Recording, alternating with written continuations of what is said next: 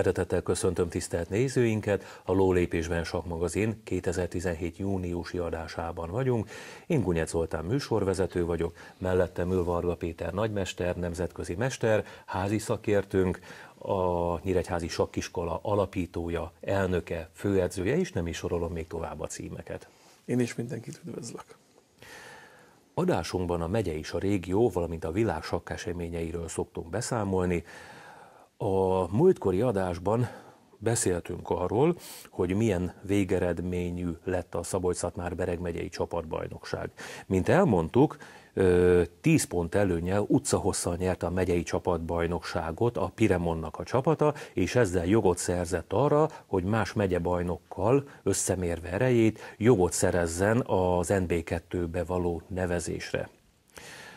A párosítás alapján a Piremon csapata Hajdú Bihar megye bajnok csapatával, a Debreceni sakkiskolával került össze, és nagy küzdelemben, de alul maradt a debreceniekkel szemben. Ez főként annak köszönhető, hogy az első fordulóban tehát ugye odavágó, visszavágó mérkőzés volt, megmérkőztek Debrecenben is és Nyíregyházán is a csapatok. Az odavágón, tehát Debrecenben kisé tartalékosan a legjobb bifiket kénytelenek voltak nélkülözni a nyíregyháziak, és a Piremon sajnos nagyobb arányú vereséget szenvedett, 8 és fél, 3 és félre kikapott a debreceniek otthonában.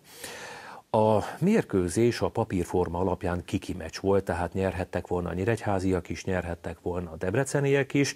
Sajnos számunkra rendkívül kedvezőtlenül ért véget a mérkőzés. Egyszerűen fogalmazva a nyíregyháziaknak nem jött ki a lépés, és több sajnálatos vereséget is szenvedtek. A visszavágóra már majd, hogy nem szükségtelen volt a küzdelem, hiszen ilyen mértékű hátrányt alig ha lehet egy, egy papírforma szerint kb. azonos erőségű csapattal szemben behozni, tehát 9-3-ra nyerni a Debreceni sakkiskola ellen megkísérelték a nyíregyháziak, ezúttal sokkal több pontot értek el, 5 és fél, 6 és félre végeztek a debreceniekkel szemben. Ez az osztályozó sajnos idén sem sikerült, bízunk abban, hogy a Piremon a régi fényéhez képest felzárkózik, és rövidesen újra az MB2-ben fogja képviselni Nyíregyháza és Szabolcs-Szatmár Bereg megye sakk hagyományait. Erről az osztályozó mérkőzésről én úgy tudom, hogy Péter nagymester készült néhány partival, és mielőtt tovább mennénk a megye sakkeseményeinek tudósításában, megkérdezném, hogy milyen partit mutatsz be nekünk.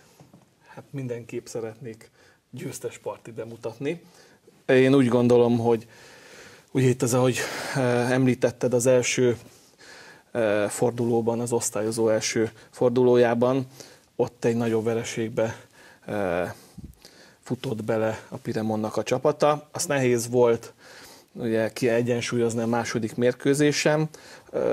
Itt igazából az a probléma, hogy az első mérkőzésen nem tudtak partit nyerni. A másodikon hazai környezetben már sikerült négyet is, tehát én úgy gondolom megvan az erő ebben a csapatban. Egy dolog van, hogy nagyon elrontották az első mérkőzést. A másodikon egy-két nagyon jó partit játszottak, és ezt mindenképp uh, abból szeretnék egyet uh, vagy kettőt bemutatni, attól függően, hogy hogy lesz időnk.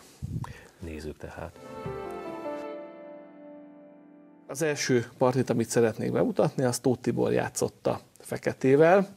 És Tiborról már nem egyszer megemlékeztünk a műsorban, megyénk egyik remény teljes fiatal sakkozója, aki sajnos a debreceni mérkőzésen nem tudott játszani, fiatalokra kellett volna építeni jobban, és akkor talán Debrecenben is jobban sikerül a, a, az osztályozó első fordulója. Tibike minden esetre a második fordulóban Nyíregyházán be tudott szállni a ringbe, és egy érdekes, tartalmas partit játszott visszaadnám a szót, bocsánat, hogy ott nyeleskedek. Semmi, tehát ezzel előrébb tudjuk vinni a, és egy kicsit megérteni tehát ezt a játszmát is. Azt kell tudni a két csapatról, ugye, hogy mindkettő igazából ugye nagyon sokat foglalkozik az ifjúsági nevelőmunkával, és ugye én úgy gondolom, hogy ezeket az fiatalokat be kell építeni a csapatba, minél többet, és hogy minél több rutint szerezzenek, és már megvan az az erejük is ezeknek a játékosoknak, hogy jó eredményt tudjon elérni velük a csapatuk. Ugye Debrecen is az egyik legnagyobb ifjúsági nevelőegyesület, azt kell tudni róluk, és nagyon sok ifit vonultatnak fel, nem csak a csapatbajnokságon, hanem a, a ifjúsági nevelőegyesületek sereg személyén az ifjúsági csapatbajnokságon és a Rapid bajnokságon is, amely ugye hajdúböszörményben volt. Én a játszmával folytatnám, ugye feketék voltunk, egy érdekes partit fogunk látni, ahol Fehér valószínűleg jobban állt, de egy, egy hatalmas hiba, ugye az a partiába került, tehát erről fogunk majd beszélni, és nagyon tanulságos maga, hogy mit miért lépünk, és ugye a hibát hogyan lehetett kihasználni, hogyan tudta sötét teltibike kihasználni. Tehát E4-jel kezdett világos, C5 tel folytatta sötét, Huszár F3-mal fejlődött fehér, Huszár C6-tal fekete. Ez a szicíliai védelem. Szicíliai védelem, ugye itt még több változatba is átmehet, D4-jel, ugye az félig nyílt megnyitásba ment át világos, C üti D4. Itt ugye csak a a gyalogütésről már számításba. Más változatra hátrányosabb. Hát igen, akkor kis és sötét. betolnánk a gyalogot D5-re, tehát ezt azonnal le kell ütni, ez az, ez az értelme, ugye a C gyalogot a D-re lecserélik, és akkor egy, ugye kinyílik a centrum, és egy aktív nyílt állás fog kialakulni. Ugye Huszárüti D4-jel folytatta világos, G6-tal fekete, ugye szájra fejleszti a futót, C4-jel ugye az egyik híres, egyik leghíresebb magyar sakkozó Maróci Géza-nak volt ez a legveszélyesebb változata, amit játszott, ugye ezt róla is nevezték el ezt a változatot, ez a Maróci változat. Futó G7-tel folytatta sötét, futó E3-mal ugye megvédtük a D4 huszár, D6 következett, ezzel ugye átmentünk most a sárkány sárkányvédelembe. Ugye itt azt kell tudni, hogy ha nem D6-ot lépek, hanem huszár F6-ot, akkor, akkor egy teljesen normális szerkezet jön ki, ugyanúgy, mint itt is, csak ugye itt még egy kicsit ezzel szoktak várni ezzel a D6 lépéssel, de ettől függetlenül, tehát ez, ez, ez is egy jó lépés, csak egy picit később szokták meglépni. Folytatta a fejlődés világos huszár C3-mal, amire Huszár F6 következett, futó E2, elsáncolt fekete. Tehát azt tegyük hozzá, hogy a futó E2 feltétlenül szükséges lépés, mert ebben az állásban, ha jól tudom, sötét, világosnak a sötét mezejű futója feltétlenül szükséges a sötét mezők ellenőrzéséhez, és Huszár F6 G4-el ki tudná emelni sötét azt, a, azt az E3 futót, és eléggé Igen. csiklandósá válna világos állásra. És hogyha C6-ra ütnek közbe, fehér, akkor pedig E3-ra fekete ugyanúgy közbe tudna ütni. Úgyhogy ezt nem, tehát ez az állásnak úgy gondolom az egyik legjobb figurája fehérre, az E3 a sötét mező mozgó futót, azt, azt meg kell tartani mindenképp. Világos is folytatta elsáncolt, ugye a fejlődést. Huszár üti D4 következett, amire futó üti D4 jött, és B6-tal, ugye fekete szájra fejlesztette a másik futóját is. Itt a másik terv, amit szoktak lépni, az futó E6, vagy futó D7, C6, tehát sokféle terv van, amit itt játszanak. Ugye a másik terv az, hogy futó B7, huszár D7-tel meglepő módon kicserélik a sötét mezőn mozgó futót. És Úgy, érezhető a sötét mező gyengesége. Igen, de ez egy teljesen logikus, normális terv, hogy, hogy fekete a szányra fejleszti a futót. Virágossal ugye több mindent lehetne Bástya C, egy vezér D3, ugye F4, majd E5-tel előre menni. Világos Huszár D5-tel folytatta, ami egy érdekes lépés, ugye hát az E4-et itt nem annyira jó leütni, gyakorlatilag nagy átlóba kerülne a, ez a huszár bástya, ugye az F3 a 8, ugye leütni G7-re és futó F3, vagy vezér D4 csak futó F3 után nagyon-nagyon jól állnék. Úgyhogy ezt nem is ütötte le, ezt a gyalogot fekete E6-tal folytatta sötét, amire huszár üti F6 következett, futó üti F6, és B3-mal ugye megvédte.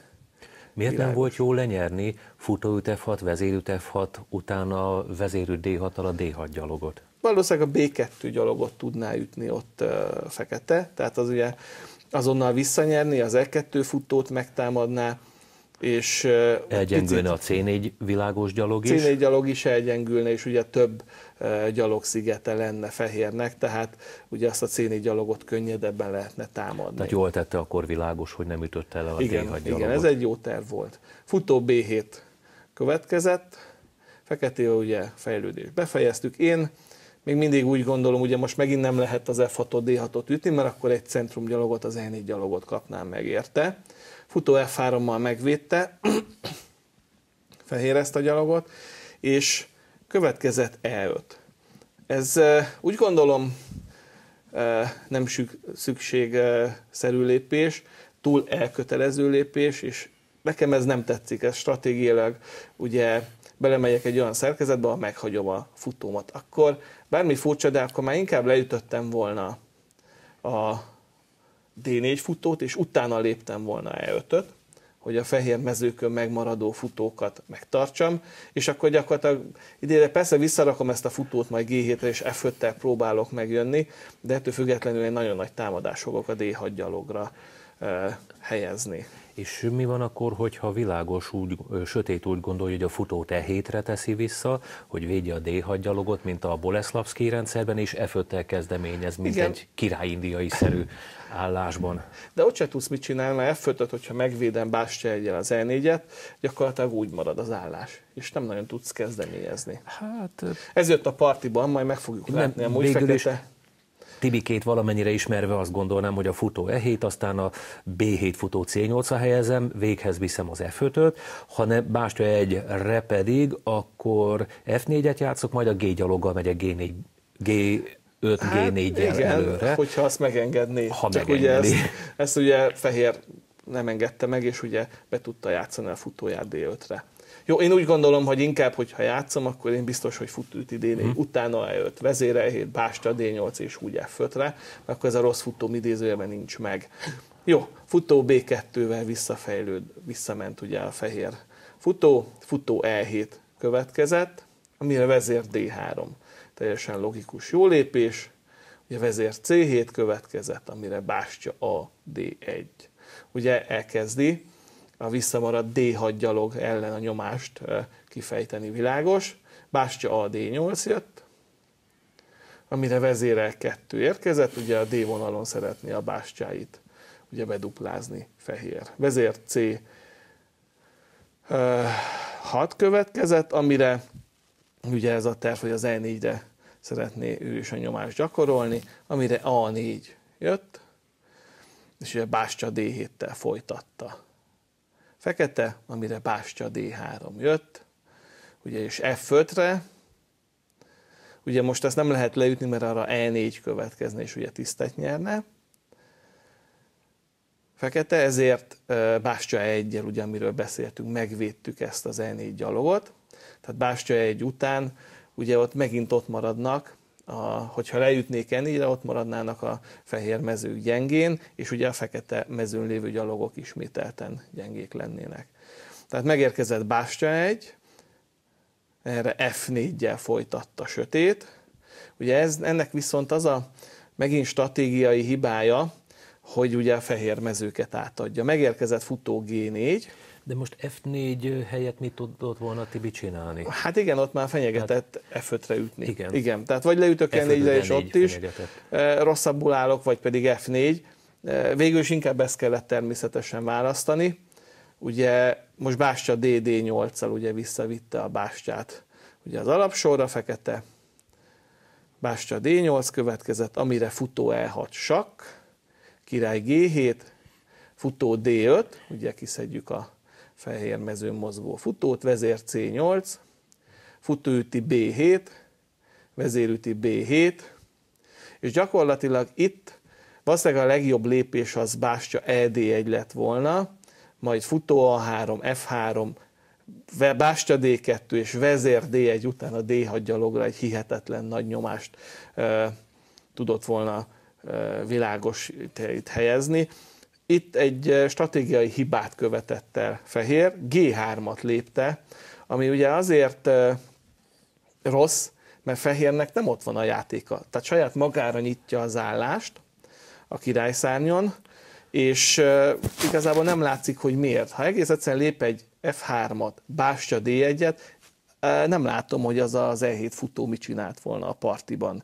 Nehéz lett volna azért áttörni a sötét erődítményt, mert, mert igazából csak a D6 gyalog gyenge, azt meg meg lehet védeni. Igen, de utána ugye az egy gyengeség, két gyengeség alapelv alapján, ugye berakom a bástyát D5-re, a másikat mondjuk D3-ra, a vezéremet D2-re vagy D1-re, A5-tel elkezdem a, igen, futót A3-ra, A5-tel elkezdem a B6 gyalogot, megint meggyengíteni ugye Bástya B5 terv, esetleg és akkor a kiderül, hogy a, az E7 futónak c lenne igazából jó helye. Igen, és ott is olyan lenne, mint egy gyalog, mert ugye igen. csak védekezne. Az a különbség, hogy ezeket az állásokat könnyedén játszhatja fehér, mert neki van terve. Fekete még csak védekezése van.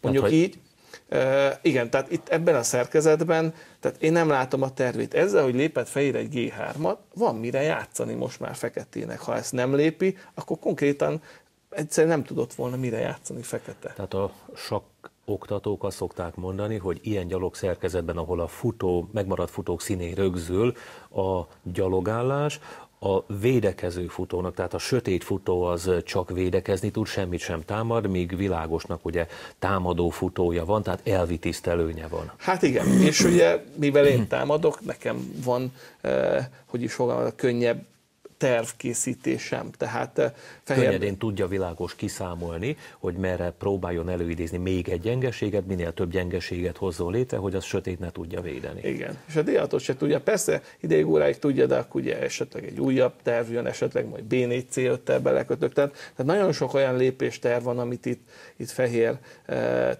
tudna alkalmazni. Ezzel a G3-mal viszont meglepő mód a saját királyát e, gyengítette meg. Tehát ez egy gyengítés, ez a lépés. Ez egy nagyon nagy hiba, ez a G3.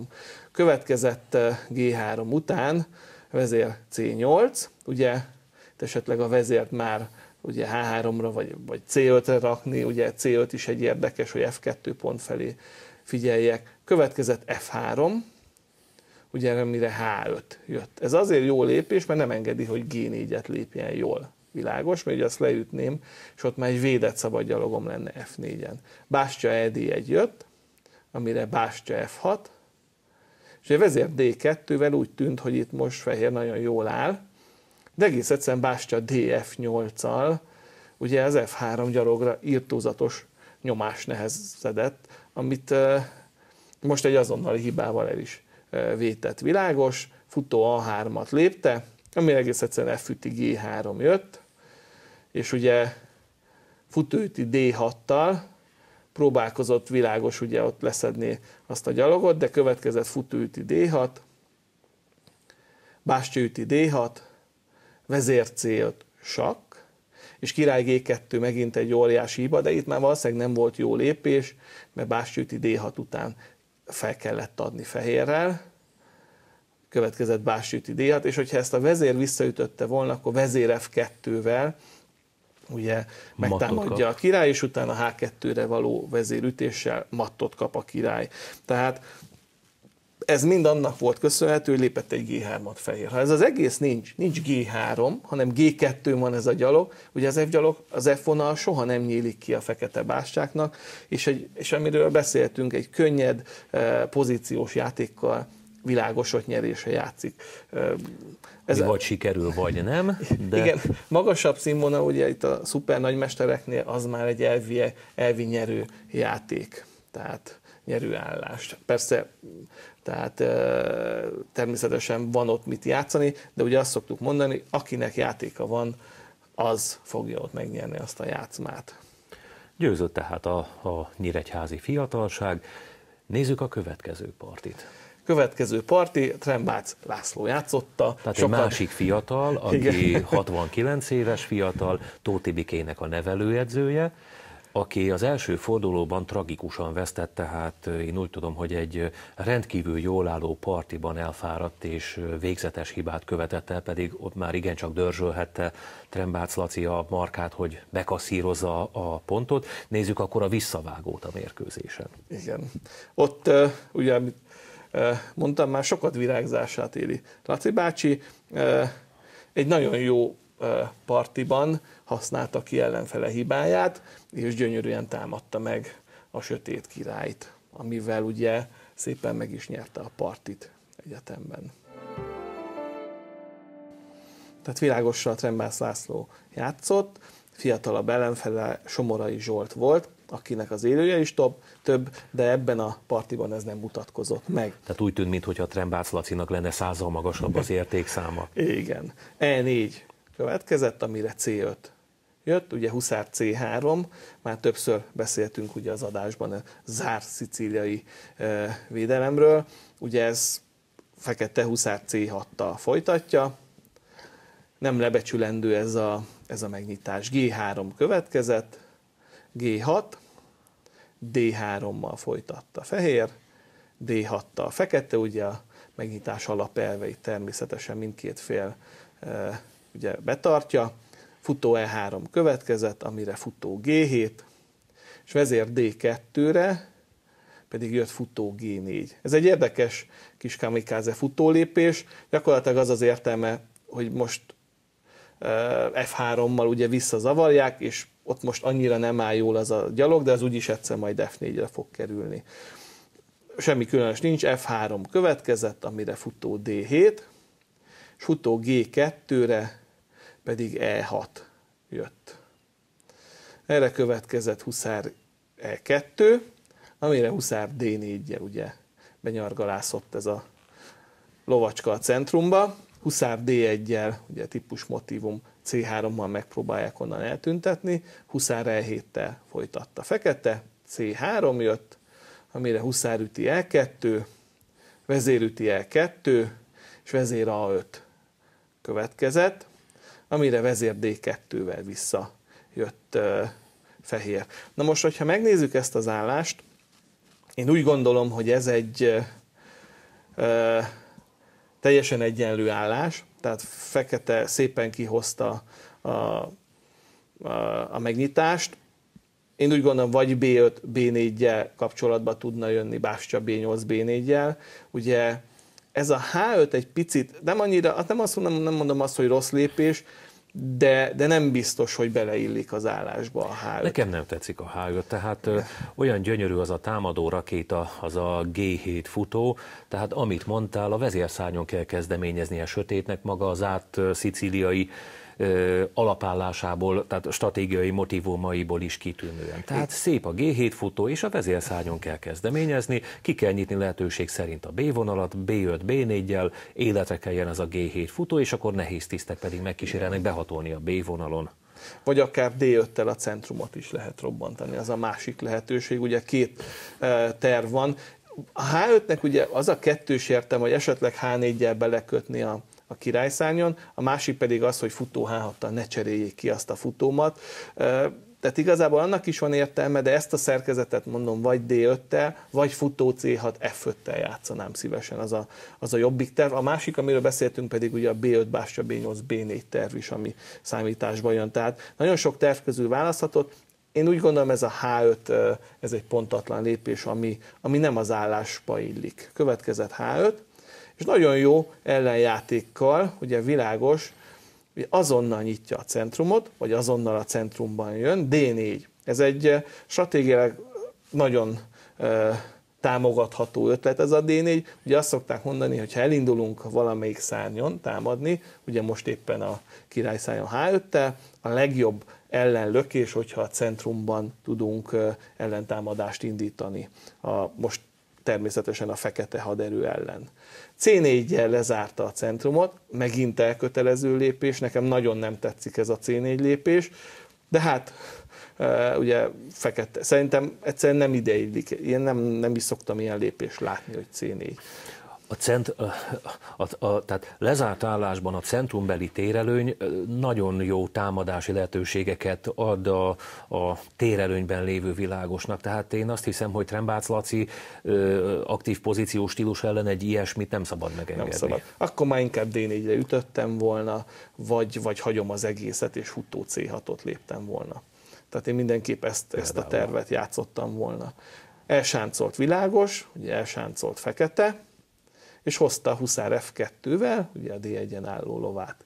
Megérkezett D5, ugye most megint, hogyha azt nézzük, ugye fehérre rakjuk, és utó H6 után kiszedjük a védő figuráját feketének, tehát objektíve, tehát ha azt nézzük, stratégiailag fehér megnyerte a megnyitási szakaszt, azt mondom, hogy magasabb szinten, szint, tehát ez már nyerve van ez az állás fehér. Nincs ellenjátéka, nincs ellentámadási Igen. lehetősége sötétnek. Fekete ugye B5-tel próbálkozott, és egy nagyon szép G4-je, ugye itt van, hogy belekapaszkodott az azonnali H5-be, ugye a H5 gyalogba, F6 jött, amire G üti H5, G üti H5 következett, és király H1-jel, ugye fehér a G vonalon próbál meg felsorakozni. Én még mindig azért valószínűleg itt, hát itt már nehéz jó tervet találni amúgy, de valószínűleg Bástya F7-et lép, kellett volna lépni, de itt már rosszabbul áll egyértelműen fekete.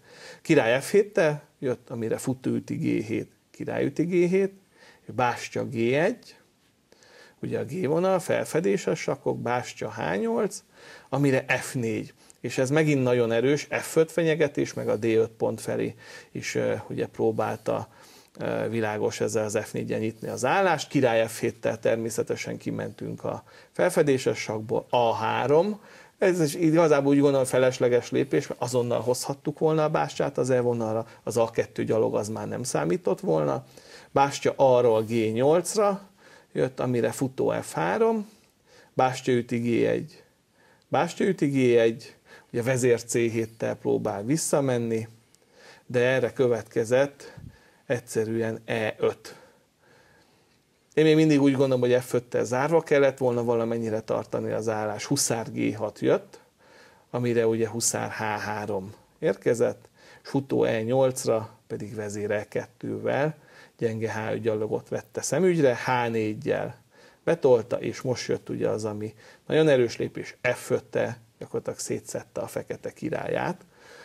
Ez egy romboló áldozat, ugye elüti F5 jött, amire futó üti D5 sakk, ugye csak G7-re mehet ez a király, ugye bele a G vonalba, ott pedig király G7 után a G vonali kötés szépen kihasználta fehér, huszár F4-jel, ugye megtámadta, vezér D7-re, pedig vezér G2 jött, bástya H6-ra pedig elüti F6. Következett, ugye ezt nem lehet visszaütni, mert a vezér G5 csak jönne, király H7 jött, erre futó E6, és gyakorlatilag ugye futó üti F5-tel simán nyerne, Huszár üti F4-jel próbálkozott, de vezér G8 mat az mindent vitt, és a fekete királynak a helyzetére tapintott rá. Hát egy nagy orosz író ö, művének címével élve bűn és bűnhődés ezúttal a saktáblán, tehát elvi pozíciós hibákat követ H5-tel sötét. Én azt hiszem, hogy ha rövidre sáncolok, akkor nem kell H5-tel ilyen hazárt kalandokba eh, bocsátkozni. Igazából nem is csak pozíciós hibás, stratégiai hiba. Tehát ezek, amik ugye lezárjuk a centrumot C4-jel, H5-tel jönnék, H5 az még azt mondom, hogy ha H4-et meglépném, talán még ott lenne, de, de, de úgy gondolom, hogy ezek nagyon nagy stratégiai hibák voltak, legfőképp a C4 volt, én úgy de gondolom. Térhátrány lezárt centrummal erősítve, szabad kezet adott világosnak a király elleni támadásban is akadálytalanul felvonulhatott. Igazi szép trembác parti volt. Ennyi fért a mai adásunkba. Tisztelt nézőink, köszönjük figyelmüket, remélem jól szórakoztak a partikon, viszontlátásra! Viszontlátásra!